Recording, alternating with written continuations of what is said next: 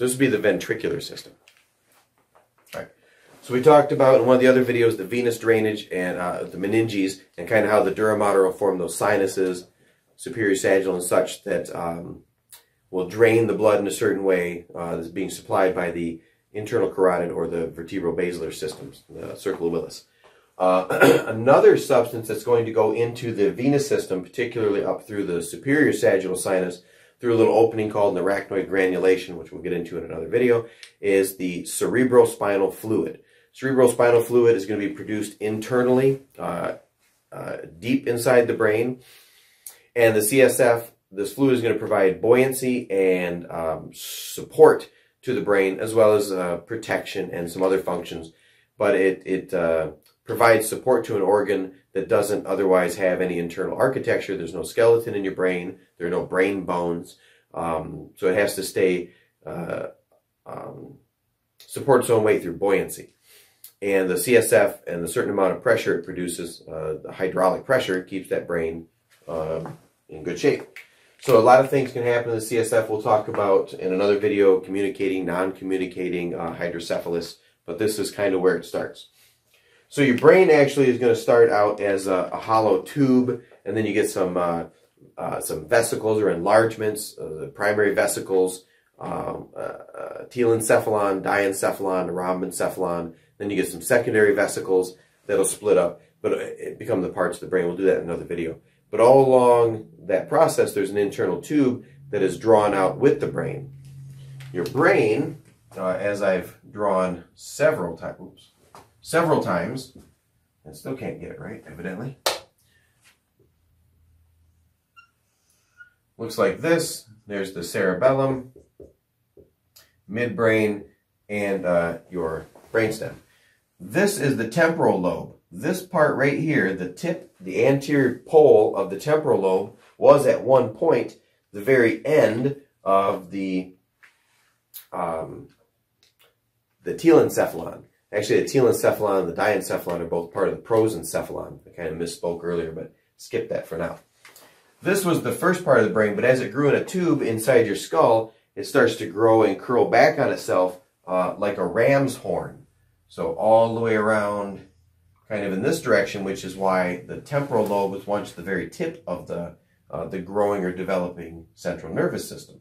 And then it grew, um, you know, like a ram's horn. You've seen Seen those on sheep before, like a ram's horn?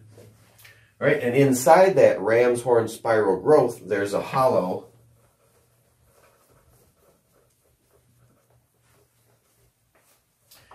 that's going to produce this um, cerebrospinal fluid. So we're going to have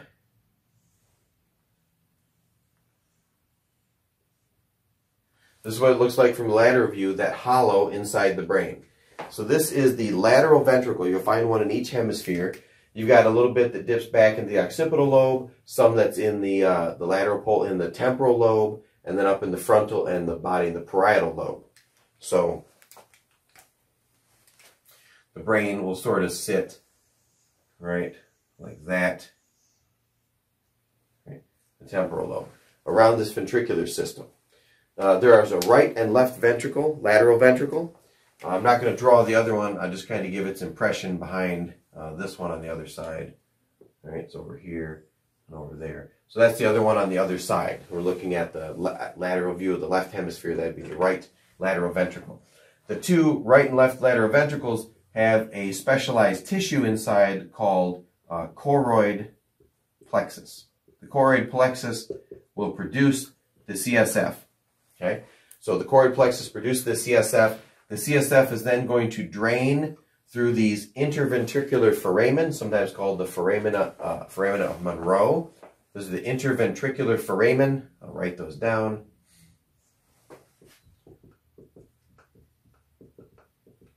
Interventricular foramen, foramina um, of Monro. All right, you don't have to remember that. But some people like the eponyms.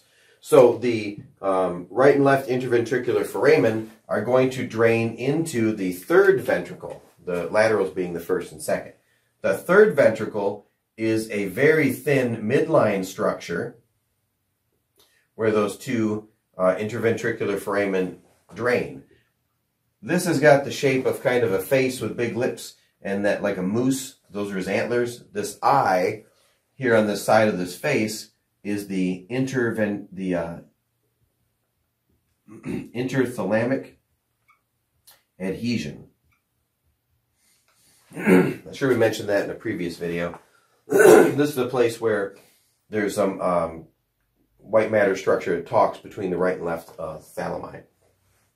This is the third ventricle uh, into which the CSF drains through the uh, foramina of Monro into the third ventricle. There are some choroid plexus in the third ventricle also producing CSF, but then the third ventricle will drain. See, this looks like the moose's long neck through the cerebral aqueduct, right? Uh, also known as the aqueduct of Sylvius. Sylvius. The cerebral aqueduct is going to drain the CSF down through the midbrain and uh, into an area that is known as the fourth ventricle. And it is composed of space between the pons anteriorly and the cerebellum and the cerebellar peduncles um, posteriorly, and then the peduncles kind of on the side, and they'll form this space that's sort of diamond shaped, and it is the the, the portion that was in the uh, rhombencephalon, one of those primary vesicles of the developing developing brain, which gave rise to the uh, myelencephalon, the medulla oblongata, and the metencephalon, the pons and cerebellum, and it leaves this space that's sort of diamond or rhombus shaped called the fourth ventricle. Fourth ventricle then would continue uh, theoretically as the central canal of the spinal cord, which uh, is not always patent, um, but we'll get to that in a little bit. Now, when you get to the fourth ventricle, the CSF has began uh, begun in the choroid plexus of the lateral ventricles through the foramen of Monro into the third ventricle, third ventricle through the cerebral aqueduct into the fourth ventricle, and from the fourth ventricle it's going to drain via three routes into the cerebral, uh, the subarachnoid space. subarachnoid space will then wash over the surface of, uh, let me draw this coming out. So there's two lateral exits and one medial exit, or midline exit, and they're going to drain into the subarachnoid space. And once the cerebrospinal fluid is in the subarachnoid space, it'll wash up over the surface of the brain and end up draining into the superior sagittal sinus via arachnoid granulations. And then from there, that uh, one-way flow of the cerebrospinal fluid joins into the, the venous drainage of the skull, uh, confluence of sinuses and such, and then out into the internal jugular um, vein. You can check that out in a previous video. These three exits from the fourth ventricle, the midline one, the median, foramen is also called the foramen of Magendie. There's one Magendie, and it's in the middle. The median aperture is the foramen of Magendie, and then there are two lateral uh, drainages into the cerebral uh, subarachnoid space of the cerebral spinal fluid, and those two on the laterals are, uh, let's see, how do we spell that? Luschka. These are the foramina of Luschka.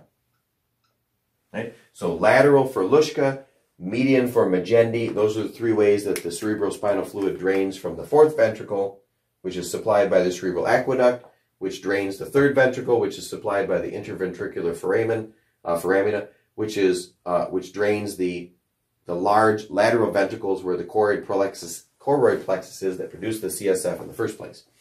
Now, in the subarachnoid space, there are some uh, large openings. Like there's a little pouch here called the pontine cistern where a lot of that fluid gathers. Um, we'll get into that in another video. So that is the ventricular and CSF system. And um, next we'll do cranial nerves.